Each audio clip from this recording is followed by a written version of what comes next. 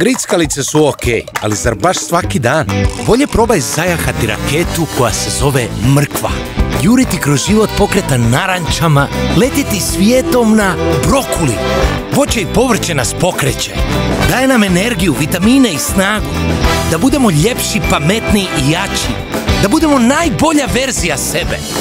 Zato se pokreni i do konzuma kreni. Tamo te čeka tvoja porcija hranjivog, vitaminima prepunog svježeg voća i povrća.